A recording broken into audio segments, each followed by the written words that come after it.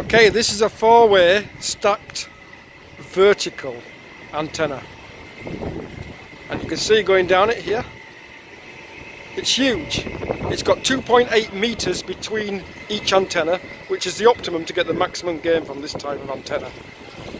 Okay, this is for one of our clients in Nigeria called Emmanuel, and we've we're testing this at uh, 103.7, but it has been tested at 88 with zero reflection, and it has been tested at 108 with zero reflection.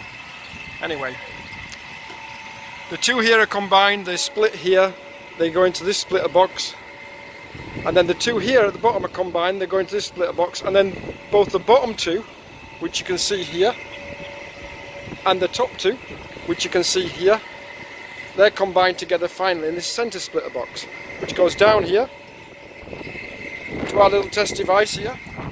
I don't know if you can see the numbers, just about. Okay, well, I don't know if you can see that on the video, but it says 103.7, okay?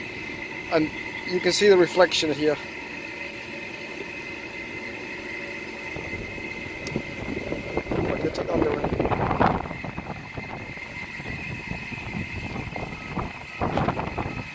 See with the meter set to full zero reflection. In fact we can turn the calibration right over so it's on full. It's still at zero. This is like 1.0 absolute zero. Uh, I don't know if you can see the frequency counter. Okay.